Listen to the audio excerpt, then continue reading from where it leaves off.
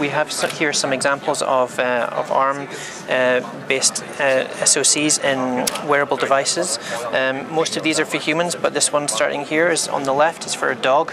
And what the whistle activity monitor is, is it's a, um, it's a uh, GPS locator and activity monitor for your dog. So you basically you clip it onto the uh, the dog's uh, collar like that, and it will record you know where your dog is, and it will record how much activity monitoring. Oh, sorry, how much activity it has uh, it has done. So there are a lot of um, of activity monitors for, for people, but this is really, I think, one of the only ones for, for dogs. But the uh, Cortex M4 here, microcontroller, um, gives it great battery life, which is really important in devices like these. You don't need want to be charging them a lot. You want to uh, just have them collecting information.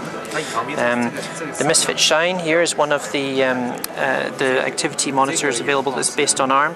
Uh, this one has different mountings that it can uh, be used with. So this one is rubber here. Uh, so there are also ones which allow it to be clipped to a pocket or um, or around your uh, your ankle if you want to measure cycling. So this one um, does the normal walking, uh, running, you know that kind of thing, calorie counting. Uh, and again, this is based on a Cortex uh, microcontroller, Cortex M3 based design. and microcontrollers have microcontrollers have really good energy efficiency. Um, they're not as powerful as applications processors, but uh, you know for some applications you don't need it, and um, something like this would do a really great job. What we've got here is the Oakley Airwave. Uh, so these are um, head-up uh, goggles with a heads-up display down the bottom and down there.